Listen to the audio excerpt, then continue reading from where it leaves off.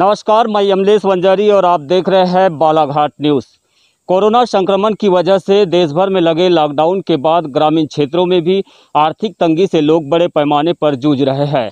इस बीच सरकार के द्वारा ऐसे ग्रामीणों को मनरेगा योजना के माध्यम से उन्हें आर्थिक रूप से मज़बूत करने का प्रयास भी चल रहा है।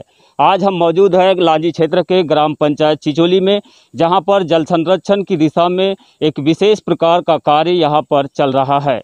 जिसमें नाले की साफ़ सफ़ाई के साथ उसका गहरीकरण, मीनाक्षी तालाब जैसी योजनाएँ और मेड़ बंधान जैसे काम भी इस गाँव में चल रहे हैं। यहाँ पर मेरे साथ कई मजदूर काम करते हुए आपको नज़र आ रहे हैं।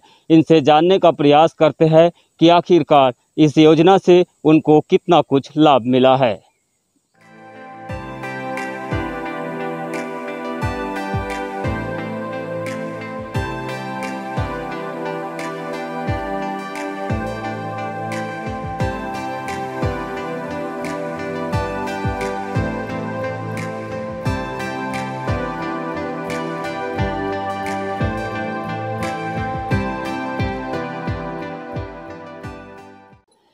कोरोना महामारी के बढ़ते संक्रमण में ज़िले में मनरेगा योजना एक बार फिर गरीब मजदूरों के लिए सहारा बनी है।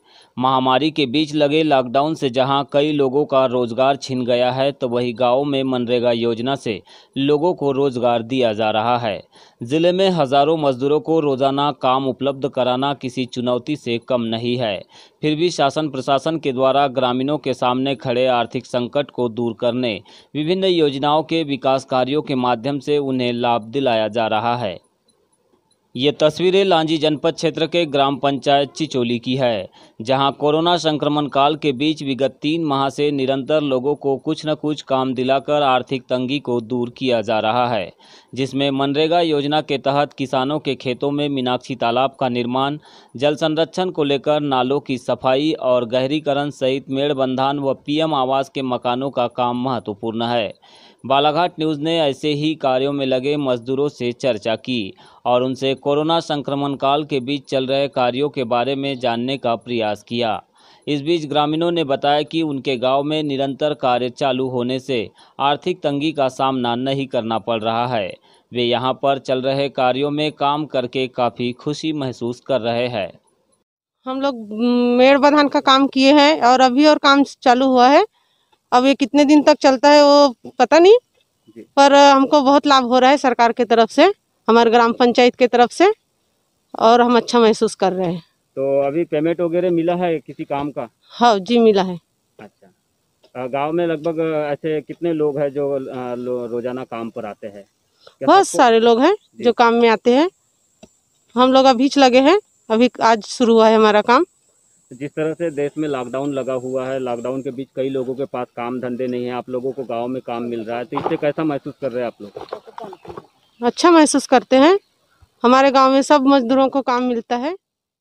देखिए लाभ का तो मिल ही रहा है गाँव के सभी मेंबर्स और गाँव के सभी सदस्य लोग आ रहे हैं काम में जितने भी गरीब वर्ग के लोग हैं। और अभी हम जहाँ खड़े हैं वहाँ मीनाक्षी तालाब का कार्य का कार्य चालू है। यहाँ करीबन पचासक लोग काम कर रहे हैं। और साइड में एक नाला है उस पर भी लेबर काम कर रहे हैं। मेड़बंधन का कार्यक्रम कार्य चालू है और कुएँ का भी काम चालू है।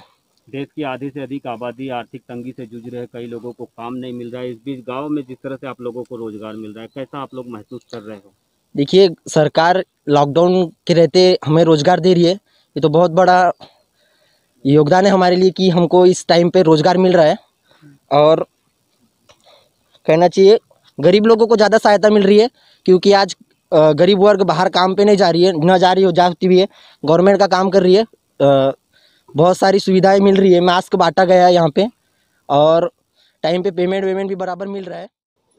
ग्राम पंचायत के सहायक सचिव भुवन फुल्लारे ने बताया कि उनके यहाँ विभिन्न प्रकार के कार्य चल रहे हैं, जिसमें 200 से अधिक मजदूर काम कर रहे हैं।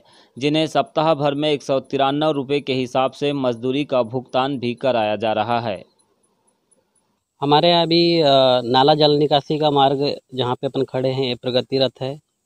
मीनाक्षी तालाब है, सार्वजनिक पेयजल कूप निर्माण है और मेड़बंधन का काम। ये चार काम प्रगतिरत है। लगभग कितने मजदूरों को रोज़गार इससे मिला है और कितने मजदूर इस समय काम कर रहे हैं? वर्तमान में 200 मजदूर काम कर रहे हैं और भी मजदूर बढ़ेंगे कल से। अच्छा इसके पेमेंट को लेकर क्या कुछ निर्देश है सरकार के? कितने दिनों में इनका पेमेंट जारी होगा? क्या रोजी दे जा रही है मध्य प्रदेश वर्तमान में भी एक सौ तिरानवे रुपये पर डे टास्क दर के आधार पे। अच्छा सरकार की ओर से पेमेंट को लेकर कोई निर्देश जारी हुई है। कब तक इनको जारी होते जाएगा? साप्ताहिक रहेगा मासिक रहेगा? नहीं इनको ऐसा रहता है कि हम तो मास्टर साप्ताहिक फील करते हैं लेकिन पंद्रह दिन के अंदर में भुगतान करने का रहता है। तो अभी तक कुछ मजदूरों का भुगतान हुआ है? हाँ होगा। हमें हम्म। इससे कितना लाभ यहाँ के ग्रामीणों को मिला गाँव में तो चल रहा है लोगों को रोज़गार पाकर खुश है लोग। तो लांजी क्षेत्र के ग्राम पंचायत चिचोली से आप ये रिपोर्ट देख रहे थे, जिसमें मनरेगा मजदूरों से चर्चा करने पर हमें ये पता चला है कि सरकार द्वारा जो जन कल्याणकारी योजनाएँ संचालित की जा रही है, जिसमें मनरेगा योजना एक अहम योजना है। इस योजना के माध्यम से ग्रामीण क्षेत्रों में वाकई में लोगों को रोज़गार मिल रहा है और इस रोज़गार मिलने से यहाँ के लोग काफ़ी खुश है।